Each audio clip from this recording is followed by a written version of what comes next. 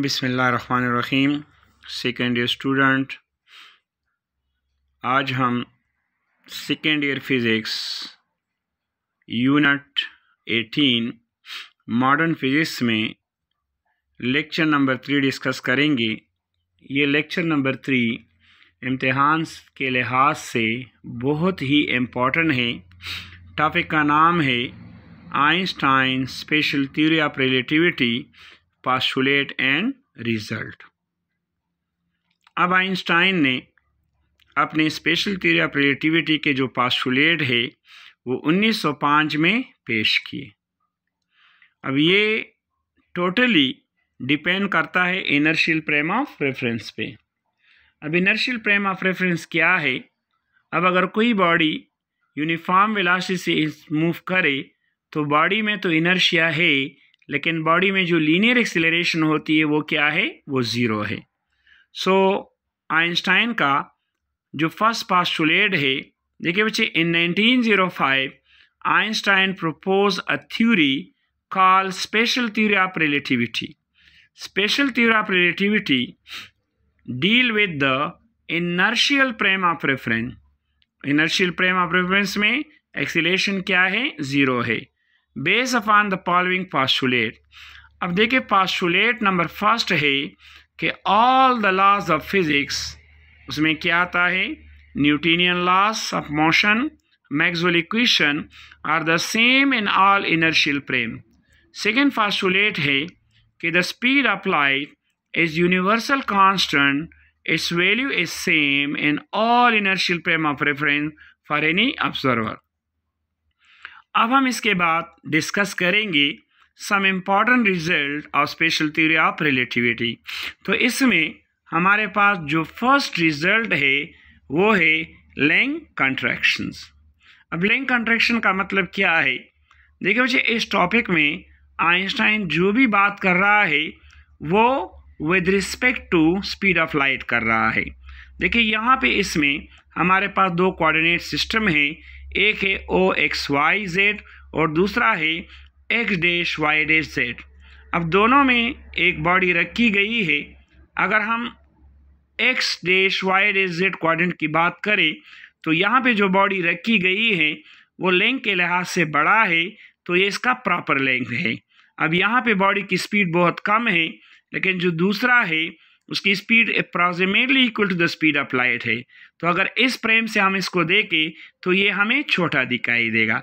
इस प्रोसेस को कहते हैं length contraction so according to special theory of relativity when an object moving with velocity comparable to the velocity of light there is decrease in its length along the direction of motion इसको हम कहते हैं length contraction अब यहाँ पे जो L naught है L naught is the length of a rod measured in a reference frame in which the rod is at rest.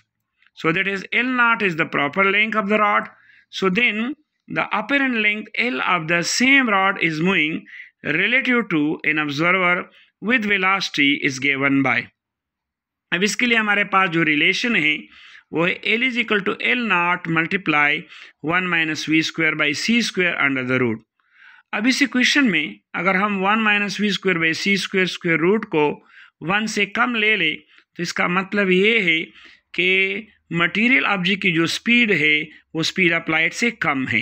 इसका मतलब ये हुआ कि L is very very less than L naught अब इसको हम कहते हैं कि upper end length is less than the proper length so that is call Lorentz length contractions इसके बाद बच्चे जो दूसरा पास्टुलेट है वो हमारे पास है टाइम डायलेशन या इसको हम कहते हैं इंक्रीज इन टाइम देखिए फॉर एग्ज़ाम्पल इसमें हमें ये दिखाया गया है कि हमारे पास मेरे एग्ज़ाम्पल मैं रेस्ट में हूँ और मेरे सामने एक घड़ी है, अब मेरे लिए घड़ी की जो स्पीड है, वो फास्ट है.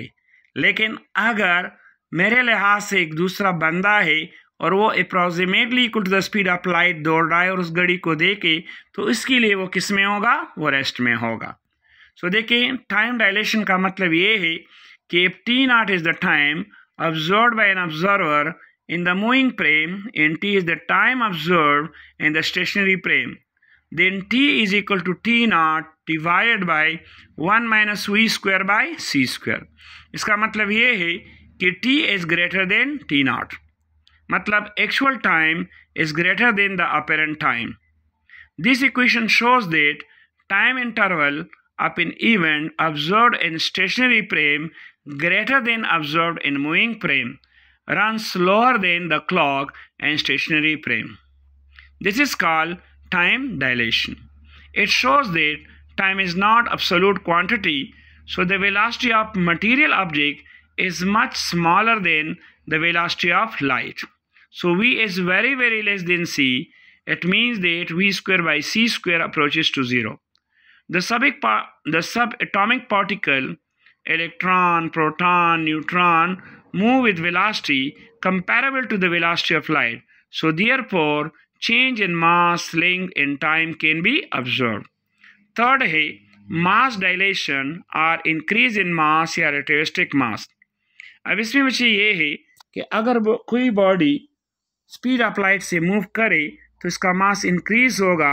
इस मास को हम कहते हैं रेटिविस्टिक मास।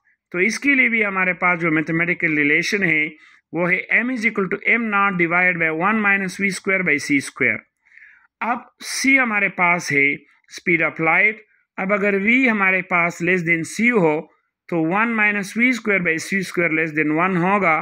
तो ये शो कर रहा है कि M is a greater than M naught so the above equation shows that mass increase with velocity comparable to the velocity of light इसके बाद ये जो हमारे पास जो फोर्थ एप्लीकेशन है रिज़ल्ट है आइंस्टाइन की, वो है speed limit of material object Einstein बच्चे कहता है कि there is nothing having speed is more than the speed applied so speed light is universal constant अब मटेरियल ऑब्जेक्ट की स्पीड कभी भी स्पीड ऑफ़ लाइट के बराबर नहीं हो सकती।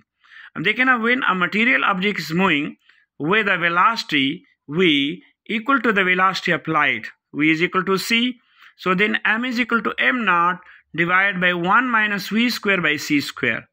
अब m nought one minus one zero तो यहाँ पे अगर हम देखें मास इनफाइनाइट आएगा। अब इसका मतलब ये है कि at the velocity of light the mass of the material object, the mass of the material object become infinite.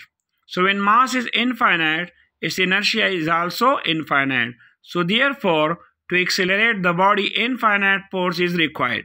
So it is impossible to accelerate a material object. So therefore, a material object cannot move with velocity of light. Fifth number है result के mass energy relation. अब देखें ना Einstein formulated बच्चे the relation between mass in energy relation क्या है? Is equal to m c square अब यहाँ पे सी हमारे पास है speed of light three into ten की power eight metre per second e हमारे पास है एनर्जी एम हमारे पास है मास अब ये इक्वेशन कह रहा है कि energy should be converted into mass and mass should be converted into energy अब अगर वैसे एनर्जी मास में कन्वर्ट हो जाए तो इसको हम कहते हैं पेयर प्रोडक्शन इसी तरह अगर मास एनर्जी में कन्वर्ट हो जाए तो इसको हम कहते हैं इनहेलेशन ऑफ़ मैटर ये दोनों बात इंशाल्लाह हम नेक्स्ट इस चैप्टर में डिस्कस करेंगे. So thank you students